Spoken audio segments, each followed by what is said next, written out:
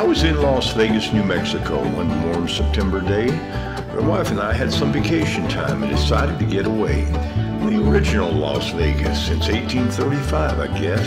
A TV and film location, but excuse me, I digress. The strangest thing I saw there, a guy was stuck under his car. The jack was slowly leaking, point of impact wasn't far. I asked how I could help him before the rubber hit the gnarlies. He said, pick me up a handheld breakfast burrito from Charlie's. See, Charlie's Big Bend Acre Cafe holds this town together. It's almost full or nearly so in any kind of weather. The Chevys, Fords, the school team buses, the pickups, and the Harleys, you'll find them lined up, owners inside, most any time at Charlie's.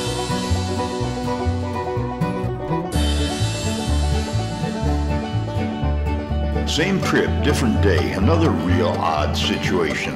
A guy had bought a lottery ticket at a stop and go gas station. An instant winner looked to be worth 80 or 90 grand. He was so excited it almost fell from his trembling hand. The attendant asked, Should we take a photo and verify your win?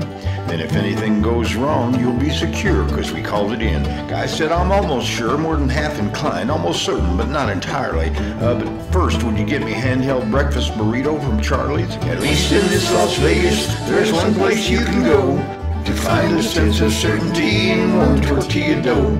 The Chevys, Fords, Mercedes-Benz, the pickups, and the Harleys wait for their owners eating handheld breakfast burritos at Charlie's. Yeah, everyone's eating handheld breakfast burritos with bacon or just tagging potatoes at Charlie's.